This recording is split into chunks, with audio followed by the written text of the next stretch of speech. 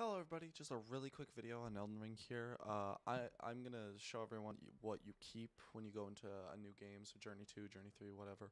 Uh, it's actually really cool.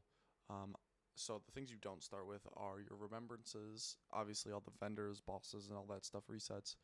Um, your and your your great runes, uh, and that's basically it. You keep almost everything else. Obviously, you keep all your uh, your weapons and stuff uh, which is cool. You keep all your uh, crafting notebooks, all your maps, all your whetstones. Uh, the maps are really cool because uh, obviously you can see the entire map. Um, and you also have all the locations you visited, uh, which is really neat. Um, obviously, you can't you can't teleport to them. Uh, you have to unlock the grace site again, but you you keep all those.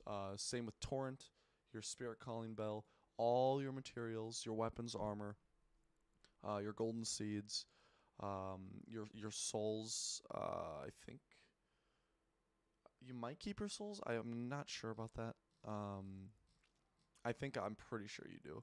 Um, you keep your flask charges, rune arcs, all your materials, all your, all everything, everything besides boss related things uh, or story related um, stuff like that. Uh, you keep.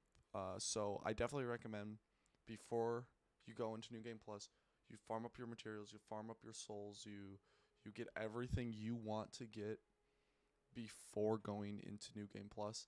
Uh, I recommend a really easy thing you can do uh, w- throughout the game, really. Um, if you're up for it, even though it's really sad, is whenever you find one of those the nomadic merchant guys, you know, with the the string instrument and the uh, the donkey, um, just kill them.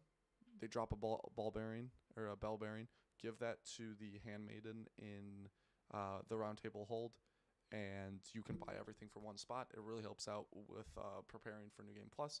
Uh, i kind of did that. I should have did it a bit more but i only got the, like the first four uh, smithing stones and i didn't do it in at all for somber stones for some reason but uh, new game plus is definitely worth going into and kind of playing through there. You get a lot more souls uh, per kill farming spots are much more potent I definitely recommend being around 150 for this, uh, or higher, or you know slightly lower. Uh, though you know it's really up to you, obviously. But yeah, that's just the quick video, just kind of saying, hey, you keep basically everything besides boss-related things. Uh, like I said, remembrances. Make sure you use those either with uh, for souls or for boss weapons because they will go away. You have to fight the boss again, uh, obviously. So.